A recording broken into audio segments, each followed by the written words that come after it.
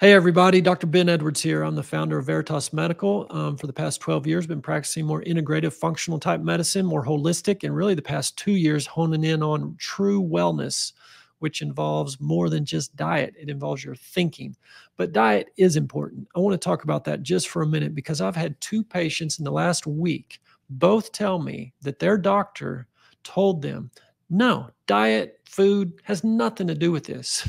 One of these patients has an autoimmune disease called Crohn's, which is a disease of the GI tract. The, the small intestine and the large intestine get ulcerations because the immune system attacks that tissue.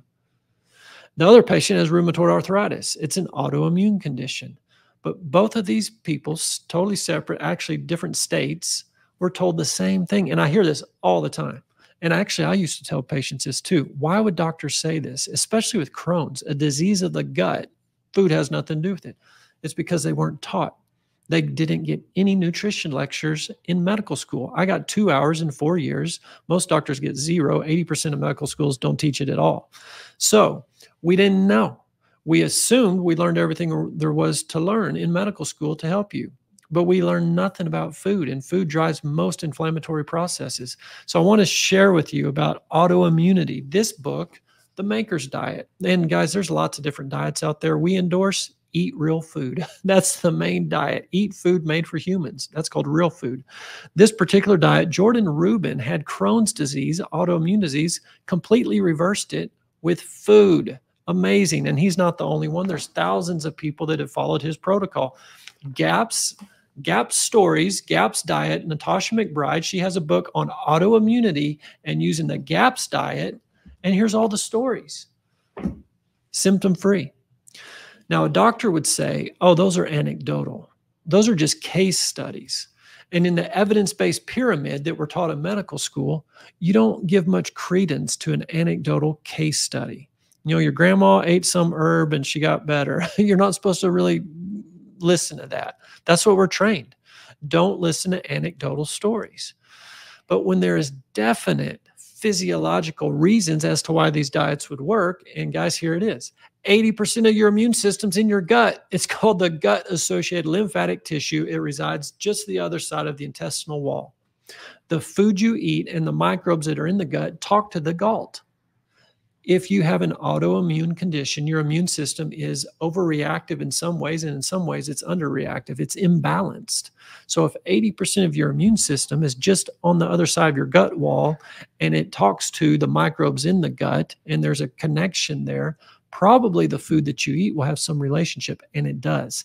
That's why there's autoimmune paleo diet, and so many other ones out there, guys.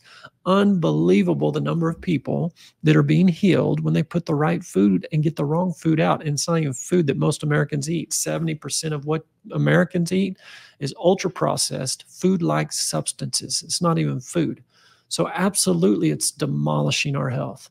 So, with all due respect and to my colleagues, and not trying to throw them under the bus, and I have sympathy for them, they didn't know about the Maker's Diet and Jordan Rubin. They've never heard of Dr. Natasha McBride. And they just weren't taught how food matters, even though Hippocrates said all disease starts in the gut. Let thy food be thy medicine, and thy medicine be thy food. I'm telling you guys, doctors just aren't trained, they're not taught doctors are in America are getting the worst outcomes. This is a big reason why they're not fully educated. They're very narrowly educated. So, my library here at the clinic full of continuing medical education that I've consumed since my graduation day. For the past 12 years, we've been practicing more holistically, and a lot of it's in these shelves back here behind me. Lots of knowledge from ancient days and from years gone by before the pharmaceutical industry was funding all the research and all the medical school education curriculum, and all the doctors, and all the hospitals, and the whole system. We have the most expensive quote unquote healthcare system delivering sick care, symptom treatment only. The reason is we're not getting to the root cause. The root cause related to what you put in your mouth, what you put in your mind, what goes through your eyes and your ears every day, what you see, think, hear, feel. All that's important, guys. We weren't taught that in school. It seems like common sense, but doctors aren't taught common sense. We're taught intellectual book knowledge from a pharmaceutical with a pharmaceutical influence. So, we're going to bring you more education from the Veritas Library in the future. That's it for today. If you have an autoimmune disease, you can get well. You can put your immune system back in balance. It's designed and wants to be back in balance. You got to give the body what it needs, avoid what it doesn't. You don't have to suffer with autoimmune disease for the rest of your life. That's what both my patients were told. They're both already 50% better in a matter of weeks by eating real food.